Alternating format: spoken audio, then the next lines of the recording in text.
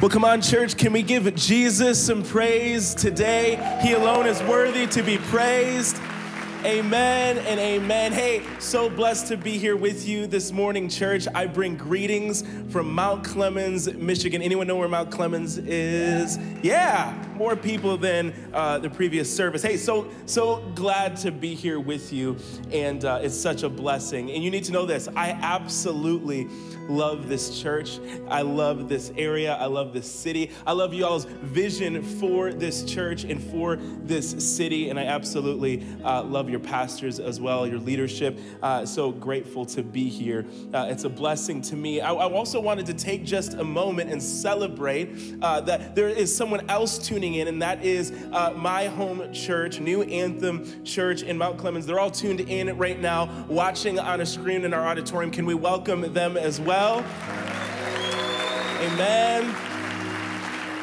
We love you guys. We miss you, but right now Holland is tough to beat. So uh, we're glad that we're here, and I'm excited to be bringing you the word this morning. Uh, I have a question I wanted to start with, and that is Have you ever, in any season of your life, felt completely empowered uh, to the point where you like felt like a superhero? Like you felt like a superhero. Have you ever felt so empowered because of some season or situation? Something happened in your life that empowered you to the point where you feel so special, so empowered. You feel like you could conquer the world, conquer the universe. I've had several seasons like that in my life. I've heard that people that go skydiving feel that way, like when they done when they're done, if they survive, like they they they feel that way, like they could conquer the world. I'm not stupid enough to try skydiving. I remember a specific time when I was younger uh, that I was like the time that I really felt like I can do anything, I can conquer the world, was the time I beat my father at a foot race. Now, I was at the age of 16, and that might bother some of you. That might bother some of you. Be like 16 years old. That's uh, this seems a little old to be uh, finally beating your father at a foot race. Get off my back about it, okay? I was running my fastest. I was doing my best. But here's why that story is actually really sad. Because if you remember this from the last time I preached here, my father is this tall and the whitest guy in the world. But nonetheless, when I beat him, I gloated so hard. I felt so good. I've been trying to for years, and I finally beat him at a foot race. And a, a more recent example of a time I felt so empowered that I felt like a superhero was when I was, uh, it was actually a few months ago. It was in the spring. And y'all remember how crazy things were back in March? Like, like the, everything was locked down. I don't know how things were over here on the west side, but over on the east side, things would get a little bit crazy, and, and everyone was kind of locked down and trapped in their homes, and no one knew what was going on, and, and masks were kind of a new thing, and, and no one was really used to that. And so my wife, God bless her, she was such a trooper. She did the majority of our grocery shopping. And it was always just like, she'd always like emotionally prepare to go out. I'm like, what's going on? What's the big deal? And she was, she would always talk about how crazy things were at the grocery stores because again, I'm sure everyone's super nice over, over here, but over on the east side, we're all jerks, right? And everyone's just mean and angry and everyone has masks on, everyone's stressed out and scared and all this stuff. And so um, she would tell me like, things are just crazy, like when you go, and so I only went grocery shopping a handful of times, but I had a, a, a very real reality reality set in for me when I did. And I would go out and I was like, this is crazy. And, and did you ever, did you begin to feel like when you had to go out, like it was an apocalypse movie and you had to go out on a supply run? Like it was a zombie apocalypse and you had to go get supply. Like that's what it began to feel like. And, and here's what happened to me now. I, um, in April, I actually came down with COVID 19. And if you're wondering, like to yourself, man, was it, was it a great experience? It was an awful experience. But here's what happened. I, I got the virus. like, I, I, here it is. This is the reality. It was not great for me, and it was it was a really crazy season of life and a crazy couple of weeks fighting off this virus. And and I had this moment where, um, and, I, and I could share a story about how really I believe God uh, healed me and, and delivered me from this virus. But so I, at the end of it. I, have been healed. I, I, I, no longer have symptoms. Um, what happened was you feel like a superhero, right? You finally get to go outside. You finally get to see the real world. And, and what happened? I'm looking around at all these people and they're emotional, they're terrified, and they have, they have their masks on, masks on. And here I am, and I just feel like a super. I can feel the germs. I can feel COVID 19 just bouncing off of me like I'm Superman. They're just bullet, ting, ting, ting. They're just bouncing. Like this is what I felt like. And I'm pretty sure some point in these couple of weeks, as I'm celebrating how empowered that I felt, I don't know if it was the news or the government heard me. I don't know what it was. But all I know is I started scrolling through Facebook and watching the news reports and scrolling through, and, and, and this was the news that was released. You can now get COVID three times, six times, 10 times, 100 times. If you've had it, it doesn't mean anything because you could just get it again.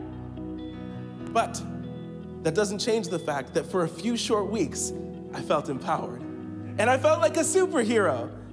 I share all of that today because of this. There is a power for every single one of us that you were created to walk in and you were created to wield and you were created to move in. And this is a power given to you by the God of the universe. This power cannot be manufactured by anything that we could conjure or come up with here with our own earthly ability. This power can't be added to, this power can't be taken from, and this power ultimately is purpose to drive us to become more like God and to discover more who God is. And this power isn't like good vibes. This power isn't doesn't come from good feelings. It doesn't come from karma and it definitely doesn't come from essential oils because this power, friends, is power in the holy word of God. Amen.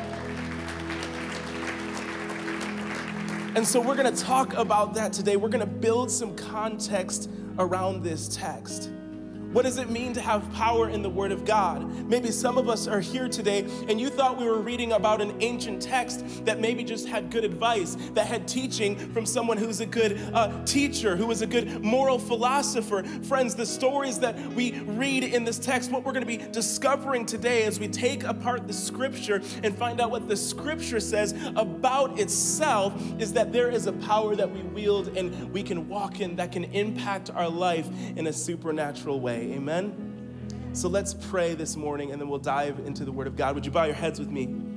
Father, in Jesus' name, I pray for every single person in this room, every single person tuned in, watching by way of Facebook, watching by way of YouTube. And God, I pray you open up your word to us right now. We give recognition to your spirit that's present here this morning in the room with us today, wants us to leave here changed and transformed. But God, we need you to open up your word so that can happen. And so, God, we ask by the power of your spirit would you just allow that? We pray for light and heat, that you would shine some light on maybe even the dark places of our walk with you, the dark places of our heart and life. And we pray you'd set our hearts ablaze. God, we pray for heat, that you'd set us on fire, get us excited and passionate about you, as even in a season of such uncertainty. God, we love you. We thank you. In Jesus' name, all God's people said, Amen. Amen. So, so I want to build some, some scriptural context around where I'm going. If we're going to define what the Word of God is and the power that it has, we need to define what the Word of God is through the Word of God. We need to understand the functionality, if you will, of the Word of God from the Word of God. Let's look at 2 Timothy 3:16 says this, all scripture is God-breathed and is useful for teaching, rebuking, correcting, and training in righteousness. Isn't it interesting that the, the boiled down functionality of the Word of God is mostly things that many of us, if we were being honest with ourselves, just don't like? Like many of us would read this, like, yeah, no, we've read that before. Some of us have been around church a while. We've, we've read that verse before. But if we're if we're getting into the nitty-gritty of this verse, the, the rebuking, the correcting, this is a function of the word of God. And yet, if we were to look at our own lives, if we were to be honest with our own selves, our own personalities, many of us at a glance would say, yeah, most of those things, most of those functions, not a huge fan of. Most of those functions, if I could avoid those at all costs, I would prefer to do so. Let's look at some other functions of the Word of God. Hebrews 4:12 says this: For the Word of God is alive and active, sharper than any double-edged sword. It penetrates even to dividing soul and spirit, joints and marrow. It judges the thoughts and attitudes of the heart. This is the the Word of God. So God is going to use His Word. First of all, it's alive and it's active. It's a live, active, breathing document. And it, this Word of God, God's going to use in His power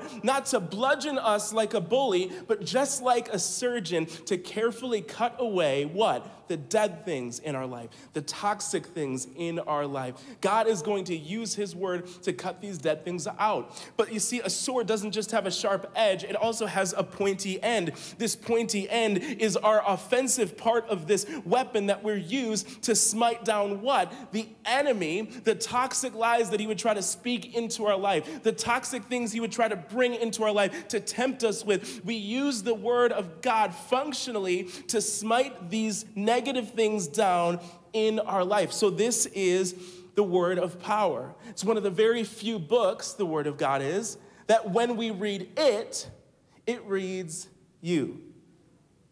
Like, like, here's an example. Like, have you ever gotten really mad at your pastor? Let me, let me explain. Like, I get mad at your pastor all the time. It's confession time. I'm sorry, Pastor Brian. I got it.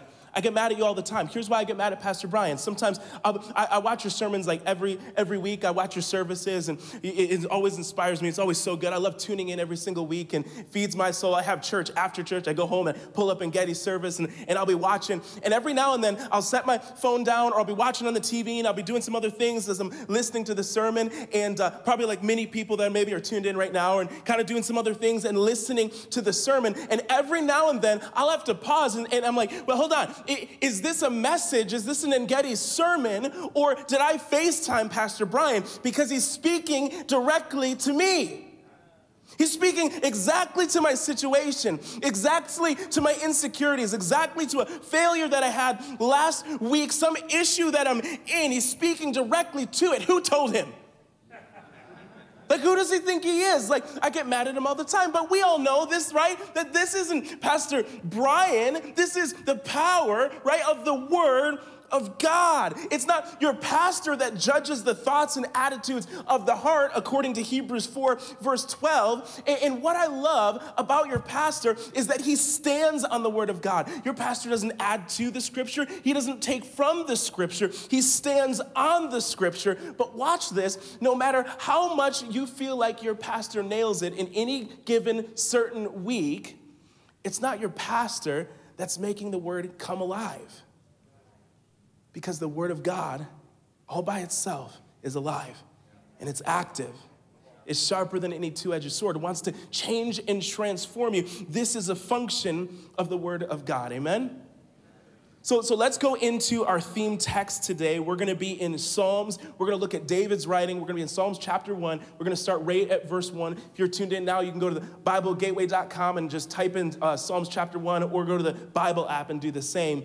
Uh, and we're going to start right at the beginning of verse 1. And, and David here is going to give us some context. He's going to give us a little bit of structure to, to what is it, what are the results, what are the effects for our heart when it comes to embracing the power of the Word of God, what can we expect? What do we need to avoid? And what is going to ultimately the bless the blessing going to be that we can receive as followers of Jesus when we do this? Psalms chapter 1 verse 1 says this, "Blessed is the one who does not walk in step with the wicked or stand in the way that sinners take or sit in the company of mockers, but whose delight is in the law of the Lord and who meditates on his law day and night. That person is like a tree planted by streams of water, which yields fruit in season and whose leaf does not wither. Whatever they do prospers.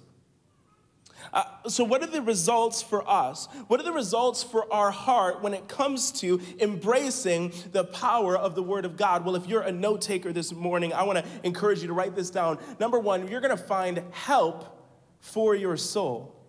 You're going to find help for your soul. Let's take verse 1 apart. It says this Blessed is the one. Blessed is the one. And if we were to peel back the tra- uh, translation layers to the word blessed, what we'll find is we're, we're talking about this everlasting joy, this peace, this hope. And in the Hebrew, this word is actually plural. So this actually suggests a multiplicity of blessing or a, an intensity of blessings. We're going to have blessings upon blessings, and these blessings upon, blessings is guaranteed to a person who, first of all, avoids some things. Well, what are we avoiding, Pastor John? I'm glad you asked. According to verse 1, what we're avoiding is walking with stupid people, hanging out with stupid people, and doing what stupid people do.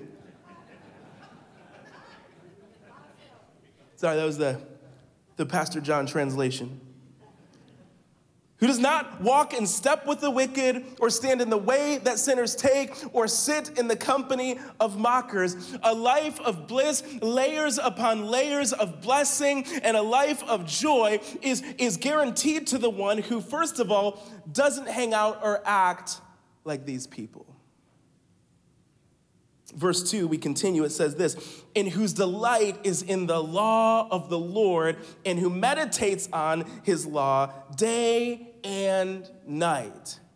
This is a really critical word for us. This word meditates is, is imperative for us. This is something that, that really we, we don't do a lot of talking about meditation. Now, I need to be clear. I'm not talking the kind of meditation where you would see someone with their legs crossed, sitting on the ground, watching a sunrise or sunset with their arms outstretched and humming a monotone, uh, monotone No, This isn't what we're talking about when we're talking about meditation. Because when we're talking about meditation, we're really talking about enveloping ourselves in the Word of God, saturating ourselves in the Word of God. Are we taking time to do this? Not, not to just read the word. We're reading the word right now. It's, it's, it's on our screen, it's on our phone, it's, it's up on these screens, it's right in front of us. We're reading the word of God, but meditation takes it a step further. Are we thinking upon the things that we're reading? Are we allowing ourselves to not just read the word, but are we giving space and creating space to allow the word of God to read us? And so we need to meditate on it. Interestingly enough, Time Magazine, uh, they had this, uh, uh, their magazine title in 2015. Here, is, here it is. It says this you, are, you now have a shorter attention span than a goldfish. Microsoft did a study inside of this article uh, in 2015 and found that, that 15 years into iPhone's evolution, the evolution of the iPhone, the human attention span had dim- diminished from 12 seconds to 8 seconds. Like, first of all, like 12 seconds really isn't that good. Not a great starting point. Eight seconds is even worse. And just for context, like everybody in the room, everyone tuned in online right now, just go ahead and look at my hand. That's it. That's it. Like th- th- this is the, the, the time, this is the, the length of our attention span. One of the quotes from the study, watch this, says this We are moving from a world where computing power was scarce to a place where it now is almost limitless and where the true scarce commodity is increasingly human attention. And one of the other statistics in this article was this the average American checks their iPhone every four minutes. And so we, we become a distracted people. We are a people and become a people who've, who've lacked some focus.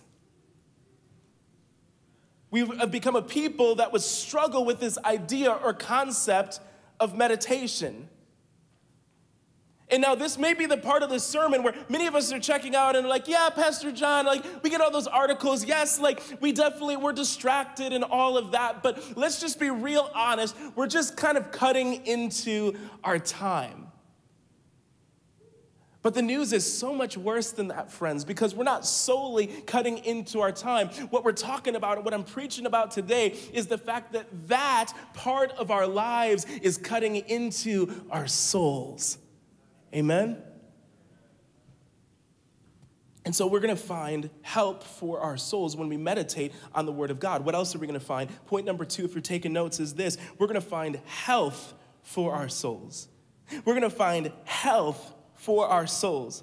Verse 3 says this of, of Psalms chapter 1 that person is like a tree planted by streams of water, which yields fruit in season. I have a, a question for you today, church. How is your soul today?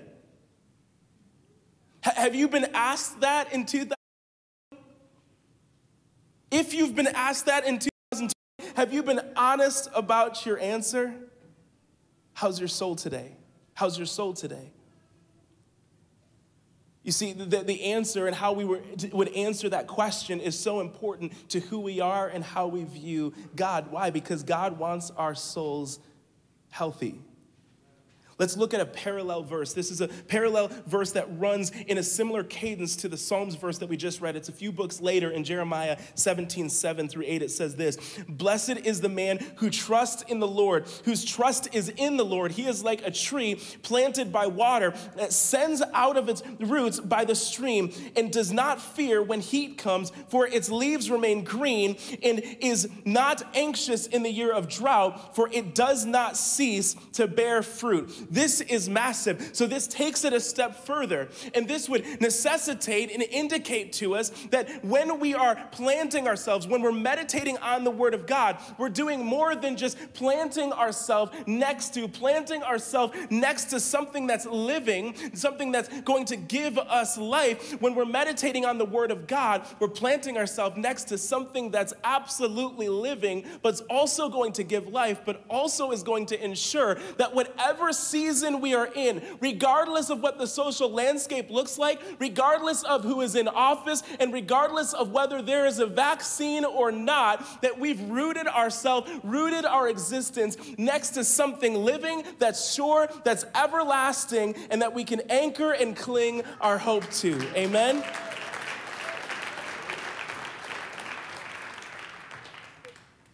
And so God wants our souls to be healthy. And what is the result of this? When we find help for our souls because we've anchored our, ourselves to the Word of God, embraced the power of the Word of God, and we find health for our souls, we're gonna find joy for our souls. We're gonna find joy for our souls. Now, I gotta be real honest with you. I wanted to put another H word there. And some of you OCD people are like, yeah, I noticed that. Wait a minute. Like I wanted to put in, I wanted to put happiness so bad. We're gonna find happiness for our souls. But here's why I couldn't write that down because it's just not true. Because happiness is cheap and happiness is fleeting and happiness can be taken from you in an instant. Happiness isn't eternal and happiness doesn't come from the Lord like joy does. And so rather than just have everything line up perfectly, I wrote down what is actually true. And what is actually true is that the joy of the Lord is your strength. The joy of the Lord is what comes in the morning and dur- during the night and is going to affect and infect our souls in the best way and drive us into greater and deeper life. John 10 10, more abundant life.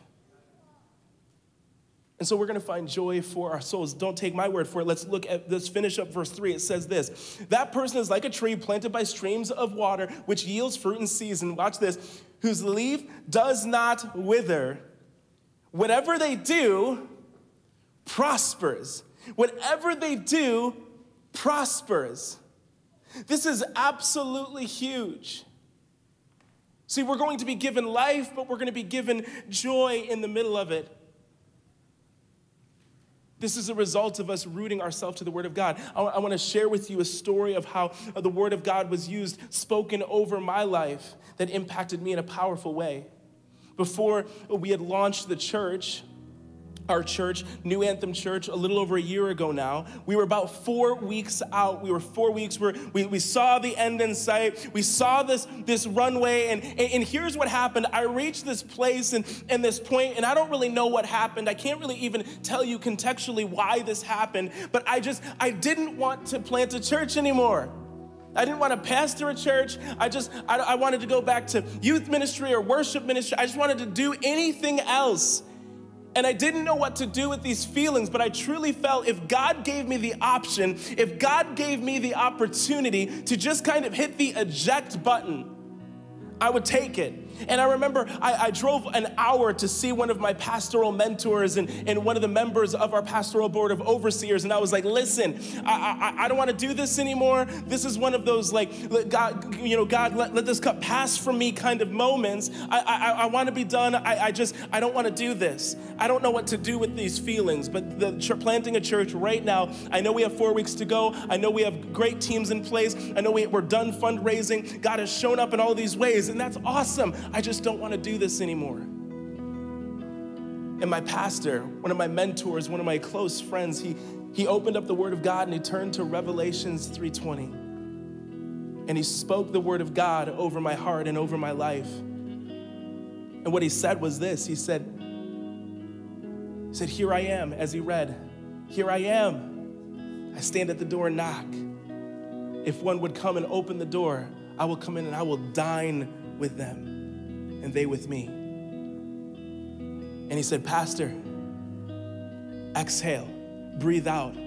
Because your only job in planting this church, in planting this new movement, your only job is to just set the table. And encouraged my faith in the best way. I began to cry, I began to weep. Peace just kind of flooded my heart and flooded my soul.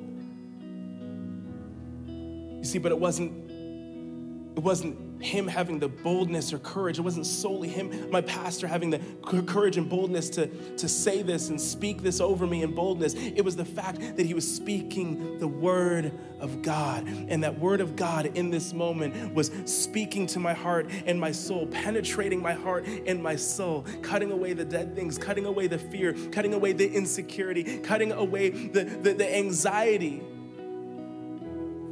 and revealing something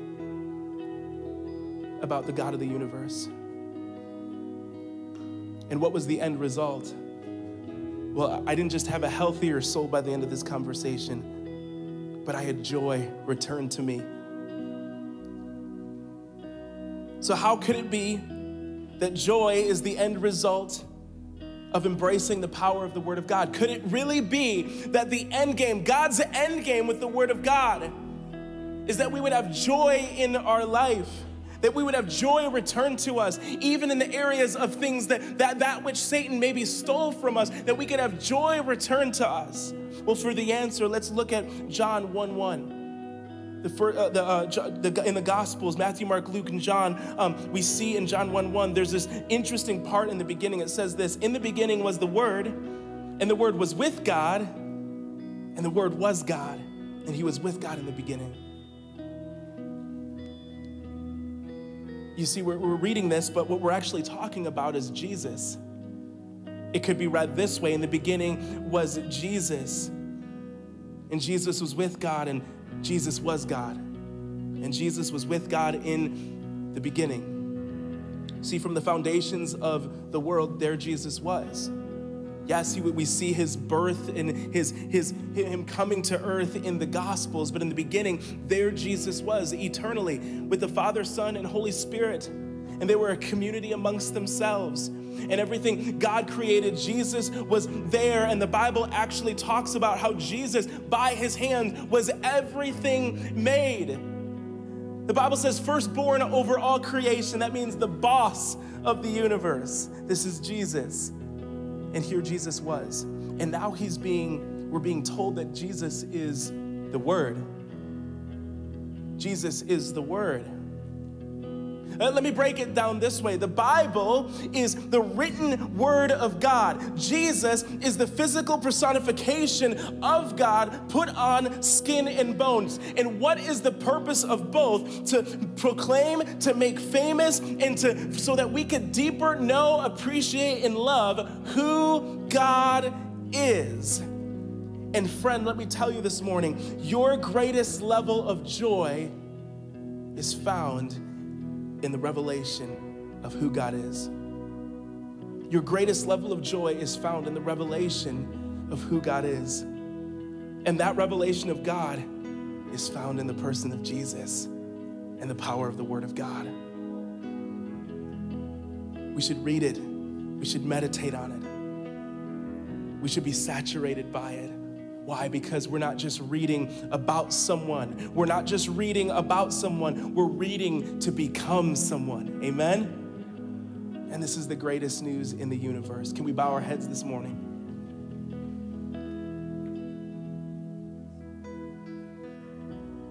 I want to pray maybe for the person who's in the room this morning Maybe you've never formed a relationship with Jesus. Maybe you've heard some of the things that have been read or the things that I've said, and they've connected in one way or another. But the truth for you is you've never formed a relationship with Jesus. And you've never made the decision to repent. In other words, to turn from the direction that you're going in the direction of Jesus and surrender your life and follow God.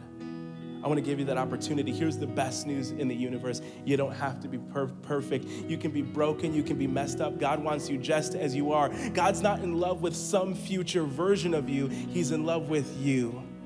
And He says, Come. I want a relationship with you. I want to show you things that are going to blow your mind. And the life that I have in store for you is going to outweigh anything that you could manufacture or conjure on your own. Will you put your trust in me today? Maybe that's you today.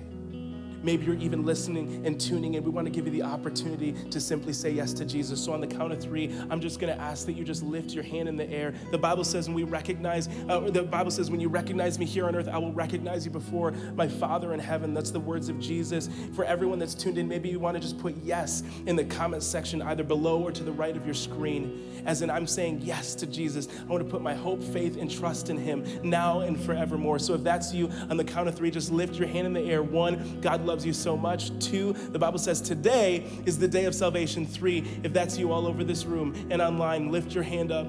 Lift your hand up. Awesome. God sees it. God sees it. It's the greatest decision you could ever make. Awesome. Awesome. Awesome. Awesome. We see you online as well. I'm going to ask, we just, we we're going to pray this prayer out loud. Everyone, to your right or your left, we're going to pray this prayer out loud as one family to support all those that are making this decision. Let's pray this prayer together. Say, Dear Jesus, thank you for dying on a cross for me. I confess I'm a sinner. I repent of my sin. I turn away from my sin. Help me to live for you the best that I can. And fill me with your Holy Spirit. In Jesus' name. Amen. Amen. Can we celebrate with those that made first time decisions? That's amazing. That's amazing. Hey, I say this all the time. It's not a prayer alone that saves you. What a prayer does is it starts a relationship. Amen. We're going to tell you a little bit more about that relationship with Jesus. Can I just pray for you one more time, church? I absolutely love you. We're so excited to see all that God's going to do. Excited the life of this church. God, we thank you for all that you're doing at Engedi Church. We're so thankful just for this moment to celebrate the power of your written word. It's more than just words on a page or words on a screen. No, God, the purpose of your word is to be the revolution and the revelation, the transition of our heart. And so, God, we celebrate that. We embrace the truth of your word. We embrace and activate the power of your word, and we want to see it play out in our life, change and transform us as we meditate on it and study it. God, we love you and we thank you. In Jesus' name, everybody said,